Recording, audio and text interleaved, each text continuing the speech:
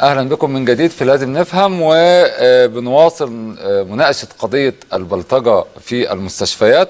البلطجة على المرضى والاطباء والممرضين والممرضات والفنيين وكل حاجة. اسمحوا لي إن أرحب بالضيفين العزيزين الدكتور محمد منير أستاذ جراحة الأورام بمستشفى المطرية التعليمي وأمين عام مساعد نقابة الأطباء أطباء القاهرة. أهلا وسهلا يا دكتور. أهلا وسهلا وأرحب بالدكتور أحمد عوض نائب جراحة العظام بمستشفى المطريه التعليمي. أهلا يا دكتور. أهلا وسهلا اثنين من الأطباء المحترمين في مصر اللي بيمارسوا واجبهم وبيشوفوا على أرض الواقع اللي بيحصل. واسمحوا لي إن أنا أبدأ بالدكتور محمد منير.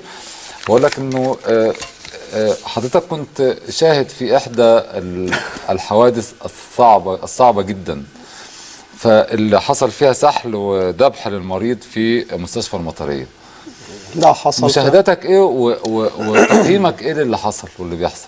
ولو سمحت لي يا أستاذ مجدي يعني إيه لو بدأنا نقول إن القضية هي انفلات أمني داخل المستشفيات أو داخل القطاع الصحي فمن فضلك أنا عايز أصحح كلمة واحدة. اتفضل أنا مش عايز أقول إن ده انفلات انفلات أمني كلنا شايفينه في الشارع. وله أسبابه ربما الضيوف في الجزء السابق من الحلقة. ادونا يعني background عن هذا الأمر. إنما اللي أنا عايز اكده إن امن المستشفيات totally different عما يحدث في الشارع من انفلات أمني. اللي في انفلات اللي جوه المستشفيات ما هو إلا انفلات سلوكي. سلوكي. سلوكي. ماشي؟ في أشياء المريض يريد حقه. بعد مم. بعد 25 يناير هو شايف إنه له حق ومش طايله. وبيحاول ياخده في أماكن أخرى ومش واخده. وحقه داخل المستشفى زي ما يمكن الأستاذة الدكتورة منى في الجزء السابق أشارت إلى إنه فهموا لنا طريقك ماشي إنك تاخد حقك بداعك فحسب سلوكه هو بيتصرف. إنما الأمر الحقيقي أنا لم أقابله في حياتي أكثر من 35 سنة.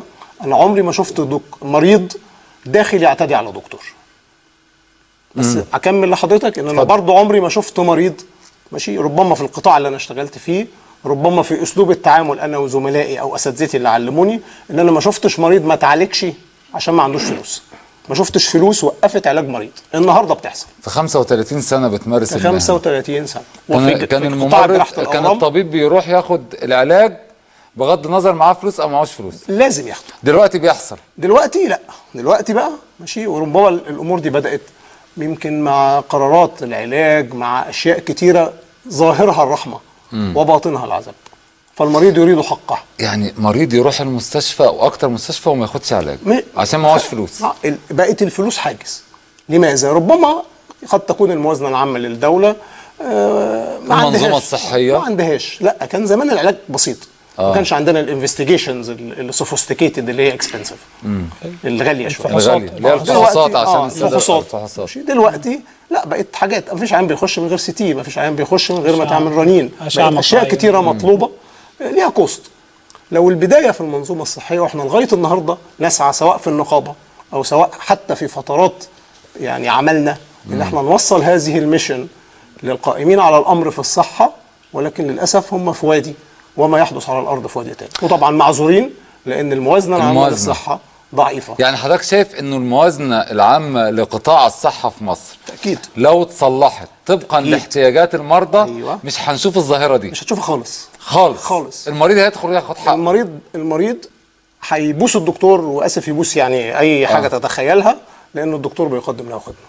مفيش دكتور لو دخلنا في المنظومة الأمنية في يمكن اللواء البديني لما كان بيتكلم. وأعتقد ناس متخصصين أكتر مني يقدروا يوصلوا لحضرتك إن الأمن ممكن ان فرونت أمن من المواجهة وأمن من الخلف. من الخلف آه. الأمن من المواجهة ده لا يقدم إلا للرؤساء. مم. اللي يقرب من مسافة كذا مش مسموح ممكن يتضرب بالنار. الدكتور عاوز أنهي والأمن من الخلف إن أنا أغطي ظهري بس.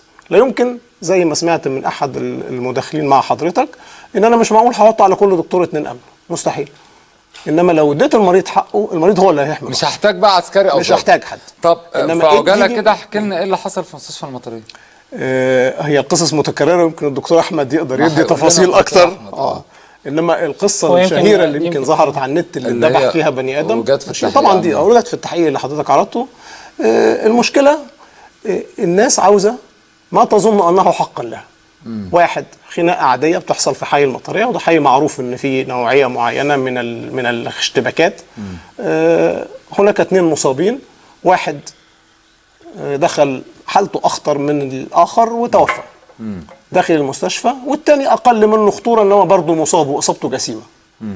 واليوم ده كان أنا نازل من العمليات حوالي الساعة 4 كانت المستشفى شبه يعني آه، متكهربه أربعة العصر. آه حوالي كده. الأمن تقريبا شبه منعدم رغم وجود عناصر من الأمن موجودة إنما لأسباب.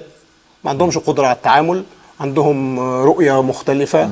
آه، حتى كان في شرطة عسكرية كان الأمن كان تعليماتهم حافظوا على سلاحكم أنتم لأن كان داخل المستشفى ما يقرب من 40 أو 50 واحد. مسلحين بالأسلحة اللي كانت لسه السلاح ما طلعش التقيل مش آه، مسلحين بسنج و دول دخلوا خدوا المصاب؟ دول طلبهم. أنا نزلت لقيت الموضوع ده. في إيه؟ حاولت الناس تبعدني يعني. أنا دكتور محمد عشان ما تأذيش نفسك. بس دافع إن أنت ده مكاني والمكان ده فدخلت في وسط الناس. عاوزين إيه يا رجاله كان طلبهم حاجتين. الأولى يستلموا جثة اللي مات. والثانيه ياخدوا طارهم من القاتل. جوه المستشفى. جوه المستشفى. وبدأت حوار. الناس طبعا هايجه جدا سايرة جدا. آه، طبعا وضعي كان ممكن أخد لي لو الأمن منفلت فعلا أو الناس قاصدة يزايد الدكاتره كنت أنا أول واحد اتضربت. لأن أنا قاعد في وسطهم. هم ما أذوش الدكاترة؟ لا ما أذونيش. بالعكس بقى الأمر كان بالعكس. طب أنا اللي اللي حاول بكلم- يقنعهم إن المصاب ده اللي هو القاتل بياخد بمجهود شخصي. بمجهود شخصي. كان كلامي على حاجتين. عاوزين تستلموا الجثه لازم هتستلموها. طبعا. بس في أمر في في جريمة والجريمة دي النيابة اللي هتديني. قرار. اديني قرار. آه. وفعلا رحت كان نقيب طبعا ما أذكرش أسماء. قلت له من فضلك أنا عاوز في خلال ربع ساعة تجيب لي قرار الجثة دي تسلم ولا تحت تصرف النيابة لأن ده حق الاهله طبعا. النص الآخر هم عاوزين القاتل. القاتل كان أنا ما أعرفش هو كان فين. كانت المستشفى حاولت تخبيه منعا إن حد يتعرض له يعني. طبعا. وكانوا مخبينه في مكان أنا شخصيا ما كنتش أعرفه. أنا كنت نازل من العمليات في في دور تاني ما عنديش فكرة خالص عن القصة. فدخلت معاهم في حوار إن أنا لو ده عدوي و... وبيقذفني بالطائرات وسقط عندي لازم أعالجه. لازم أعالجه. آه صح. وإن مش من المجدعة ولا ال- الشهامة المصرية المعروفة إن أنا آخد بطار واحد مصاب. أما. يقف قصادي آه اقتنعوا. اقتنعوا. اقتنعوا. واللي كانوا قصادي زي الوحوش. آه. أنا آسف يعني كانوا كانوا زي زي القطط. بس اللي جواهم جواهم. طبعا. والاستقبال قفل من الأزمة اللي حصلت. بدأت أحاول أفهمهم إن أنتوا اللي بتعملوه ده هيترتب عليه أشياء ستضر آخرين. برضه اقتناعهم رغم رغم العنف اللي ظاهر في. وشوشهم كان فعلا ممكن. كان كنت كل ما ما أطلبه ومستنيه إن الأمر ده يستكمل. يديني قرار في الجثة اللي جوه. بالتليفون حتى. عشان إن المستشفى هتاخد إجراء في هذا الأمر. وإحمي ظهر المستشفى. كفاية كده. أنا قدامي حوالي 40 50 واحد مسلحين. بس أنا قادر على التعامل أنا معيش لا أحمل سلاح. وما عنديش إلا حوار فقط. والحوار الناس ليها عقل. وقادره إنها تفهم. هي مستثارة بس. والأمر يعني في في حساسية وقريبهم توفى وده القاتل ويمكن في حاجات متعلقة بخلفيات أخرى في المنطقة. بس قتلوه في الآخر. في وسط هذا الكلام يا أستاذ مجدي ماشي؟ فوجئت إن باب المستشفى كما لو كان فتح ودخل 30 40 واحد جداد. جداد بقى. جداد خالص. ما سمعوش الحوار ما سمعوش الحوار بقى. ده. أنا قعدت في الحوار ده مثلا ما يقرب من نص ساعة. تقنع في ال 40 50 واحد. آه. دخل 30 جداد. دخل 30 جداد. خلص. دخلوا 30 عارفين حد بلغهم بقى. هذه المريض ال- فين؟ المريض ده اللي أنتوا بتدوروا عليه في المكان الفلاني. دخلوا طبعا وحوش كاسرة زي المنظر اللي حضرتك شفته بقى. قطعوه وسحلوه جابوه وعلى فكرة ده ما توفاش في اللحظة دي. هل تصدق ذلك؟ أمال توفى إمتى؟ توفى بعدها يمكن بنص ساعة واتنقل في عربية إسعاف لمستشفى تانية بس توفى في الطريق. حركة. طب يعني دكتور أحمد، الاعمار بيد الله ولص له عمر. الوقت دوت الجداد ودي حقيقة أقولها وأتمنى إن الزملاء والقائمين على الأمر شهادة حق. لو الناس دي بتأذي الدكاترة كنت أنا أول واحد اتضربت. لأن أنا كنت في وسطهم وقفوا يتحاوروا معاك ويتكلموا. طول نص ساعة ماشي آه. حوار معاهم وكان الاستجابة تصل إلى درجة يمكن 70 80% من الإقناع إنهم عندهم استعداد يفهموا إن ده الامر ده هيتحل. بس أنا كان ناقصني حلوا لي مشكلة طب الجثة. خلال الوقت ده يا دكتور ما وصلتش قوة أمنية كبيرة تأمن المستشفى؟ حضرتك شفتهم في الفيديو. اللي شفتهم في الفيديو هو ده اللي حصل. طيب. ناس قاعدة في ركن آه ربما الأمر صعب عليهم ربما ما في اشياء أخرى ما أعرفش. طب دكتور أحمد آه، آه، حضرتك يعني آه، في في مستشفى المطرية وحصل أحداث اعتداءات ونفسك عانيت من ده؟ آه أنا تعرضت أنا شخصيا تعرضت ل- ل- لحادثين. يعني أنا بقالي أنا في المستشفى من شهر 12 اللي فات تقريبا تعرضت لموقفين حتى الآن. 12 يعني ست شهور تقريبا؟ آه ست شهور تقريبا آه تعرضت لاعتداءين في ست آه, شهور؟ آه ده أنا شخصيا يعني. آه. شخصيا؟ غير الزملاء؟ آه طبعا. آه. إيه طبيعة الاعتداءين إحنا بقى إحنا يعني؟ حصلوا. إزاي؟ ال ال الاعتداء الأولاني أنا كنت متواجد ساعتها في أوضة أوضة الجراحة. كنت كان في عيان عنده جرح في رجله. فالمفروض إن أنا بخيط له الجرح ده. ف يعني أنا خدت غرزة والتانية كده وبعدين لقيت الجرح كبير. فقلت لهم على فكرة إحنا هنحتاج أمبول خيط كمان. طبعا أمبول الخيط المفروض بفلوس يعني. فقلت قلت للممرضه تبلغ أهل العيان يجي على بال ما يجيبوا وصل ويجي الأمبول التاني اكون أنا خلصت الإيه؟ الجزء ده. آه اللي حصل؟ إن أهل العيان طبعا ما, إيه ما عجبهمش. قال لك أنت يعني دافعين 15 جنيه وفي غرزتين يعني إيه؟ هم فاكرين آه. شوفوا لنا دكتور عادل بقى بدل البتاع اللي أنتوا جايبينه دوت وبدأوا إيه؟ بدأ التطاول يعني. آه قلعت الجوانتي قلت لهم خلاص يا جماعة يعني إيه هنوفر لكم دكتور تاني أنا منسحب أشوف دكتور أي زميل تاني يكمل. فخرجوا لا ما تسيبهولناش كده.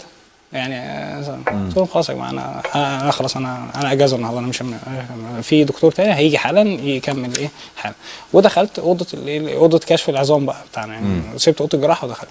فدخل ورايا ثلاثة إحنا مش هنعمل إحنا بس هن هنعلمه حاجة. هنعلمه حاجة؟ هنعلمه حاجة. قلت له لا يا فندم أنا مش عايز أتعلم من حضرتك حاجة في مدير الاستقبال حضرتك روح إيه اتفاهم معاه عايز تشتكيني رسمي في أي حاجة مع مدير الاستقبال ما تتكلمش معايا. آه قال لي أنت مش عارف اللفظ ينفع يتقال يعني ولا ما معنى؟ سباب- آه. سباب، آه. أنت حتة عيل آه، مش عارفة إيه كده ولا تسوى يعني ومش عارف. قلت له طب اتفضل اطلع بره. قال لي هي هي عزبه أمك إحنا قاعدين هنا. لا خلينا نقول خلينا نقول إن في آه. سباب آه سباب تمام. آه وضربني في كتفي وزقني في الحيطة وبتاع وإحنا قلت له خلاص يا فندم أنا هخرج أنا. خرجت طبعا طحت في الأمن اللي بره يعني أنتوا قاعدين تعملوا إيه اتفضلوا خشوا. هاتوا ال- الآخر. فخرجوا آه، جابوا. آه طب انت عايز إيه؟ قلت لهم أنا أنا هات لي أمن الداخلية اعمل لي محضر دلوقتي. فين أمن الداخلية؟ مش طب حاضر هنبعت نجيبه مش عارف إيه. خرجت أنا جبت أمن الايه ال- ال- ال- ال- الأمين الشرطة اللي بره آه لو سمحت في واحد اعتدى عليا. دخل جه آه، إيه اللي حصل؟ مش عارف إيه هو ده. قلت له إيه يا فندم هو ده. طيب ماشي معاك بطاقة؟ قال له لا معيش بطاقة. قال له طب اتفضل معايا. بس. بعد دقيقتين رحت النقطة فين الراجل؟ قال أنت رحت فين يا دكتور؟ إحنا قعدنا ندور عليك إحنا أنت رحت فين؟ آه، إحنا كده أنت كده ضيعت حقك. إحنا بقالنا ساعة بندور عليك. قلت له ساعه إيه أنا أنا بقالي دقيقتين. أنا دخلت غسلت وشي وجيت. كنت بدور على الصندوق الأسود. أما أنا موجود إيه، مسوه؟ قال إحنا خلاص مشينا الراجل بقى إحنا ما لقيناكش. قلت له ماشي شكرا. آه الواقعة الثانية الواقعة الثانية اللي هي حصلت بقى اللي اتقفل بعديها الاستقبال دوت دي كانت فتحت عليا مطوة بقى. مطوة. آه آه، كان برضو العيان آه، كان حصل أصلا قبليها بكذا ساعة حصل اعتداء. كان المفروض يعني الموقف يستدعي قفل الاستقبال. آه، كانت خناقة موجود كذا كذا حالة مضروبين خرطوش آه، طلق خرطوش آه، في ودخلوا داخل مع الحالة حوالي 50 واحد مسلحين اشتبكوا مع بعض جوه الاستقبال. كانت في حوالي خمس خناقات جوه الاستقبال. جوه الاستقبال؟ جوه الاستقبال. بيكملوا الخناقة جوه الاستقبال. خناقة قدام أوضة الاشعه وخناقة قدام الرعاية وخناقة جوه أوضة الغرز وخناقة جوه أوضة الكشف وخناقة بره في ساحة الانتظار. وعايزين بقى الدكاترة يجوا إيه؟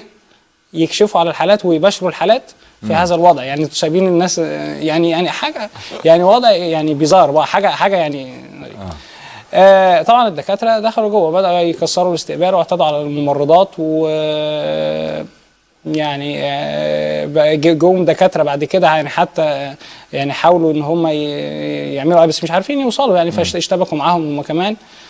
كان المفروض الاستقبال يتقفل في هذا التوقيت يعني بس كلمنا إحنا النائب الإداري قال لا استمروا في العمل خلاص إحنا ال- الشرطة الشرطة جت جت الشرطة فعلا يعني آه، وصل آه، حد رتبة يعني تقريبا كان رئيس المباحث أو كده ونزل وضرب نار في الهواء آه، عشان يفرق ال- آه عشان يفرق الناس ديت وحتى واشت- واشتبك معاهم بال- بالكعب البندقية وضرب ناس فيهم وبتاع وكده و- الوضع استقر. وبعدين مشي طبعا الدنيا إيه آه، فكت تاني وبدأت إيه؟ تاني. آه. آه، الحالات دي اتحولت طبعا من- يعني مستشفى مستشفى تانية والو- والوضع هدي شوية. طب إحنا ممكن الوضع ده يتكرر تاني. مدير الاستقبال قال لا خلاص إحنا هن إيه؟ إحنا هن- هنباشر العمل تاني وما فيش حاجة والدنيا متأمنة. آه بعد فترة كام ساعة كده دخل لنا عيان في أوضة الايه ال- راح طبعا كان في دكاترة وقع عليهم اعتداء في الجراحة فهم قالوا إحنا مش مش هنشتغل في الوضع ده. وقعد قال لا ده ده تصرف منفرد من دكاترة الجراحة في النبطشيه دي وإحنا هنتصرف هنوفر دكاترة الجراحة دلوقتي وهنشغل استقبال الجراحة. استمروا في العمل. استمرنا في العمل فوجئنا إن مفيش وقال أنا بنفسي هقف في إيه؟ في ال- استقبال الجراحة الحالات البسيطة هشتغلها. لو جت حالة بولي تروما أو حالة يعني حادثة أو حاجة كبيرة هحولها على مستشفى تانية. أهم حاجة ما نقفلش الاستقبال. طب ده حد محترم؟ تمام. آه، من وجهة نظره فأهم حاجة ما نقفلش الاستقبال عشان يعني إيه آه نبقى بنأدي رسالتنا. آه دخل لنا عيان آه هو محتاج جراحه تجميل. آه، فروح روح لجراحه التجميل خرج قال ما في ما, ما فيش حد بره. طب روح للك... اللي بيكتب التذاكر هو بيتصل بال... بالدكتور وهيجيب لك الدكتور بتاعك. طب ما أنتوا دكاترة هو ما تعملوا لي أي حاجة. اعملوا لي إشاعة. مش أنتوا بتوع عظم اعملوا لي إشاعة. طب يا فندم طيب روح للدكتور وه... يعني آه، مش مشكلة إشاعة دلوقتي. يعني أنت محتاج دكتور التجميلي آه، من هنا لهنا قلنا له يا فندم معلش هي يعني كانت في خناقة دلوقتي آه، وحصل ضرب نار فالوضع قال لا أنتوا ما تضربوش بالنار أنتوا تضربوا بدي. راح مطلع مطوة وبدأ يعتدي علينا هو وزمايله اللي كانوا معاه. آه أنا كنت موجود في الأوضة أنا وكذا واحد يعني كنا أربعة في الأوضة. يعني يمكن ده اللي إيه ده اللي خلى إن هو ما, ما, حدش اتعور يعني. لأن إحنا بدأنا نحمي بعض وزقينا المكتب عليه. آه بس لغاية ما واحد يعني واحد ربنا هداه كده قال يلا يا إخوانا بقى إحنا مش كل يوم هنموت لنا واحد يعني وإيه وخدوا بعض وزهقوا وخرجوا يعني. ما كانش ليهم نفس يموتوا واحد. آه آه فقال خلاص كفاية كده يعني. آه خرجوا أنا خرجت وراهم. آه رحت لل... خرجت وراهم للنائب الإداري. هو النائب الإداري كان المفروض آه، هو هو أساسا تخصصه جراحة تجميل فهو خد العيان وفعلا و...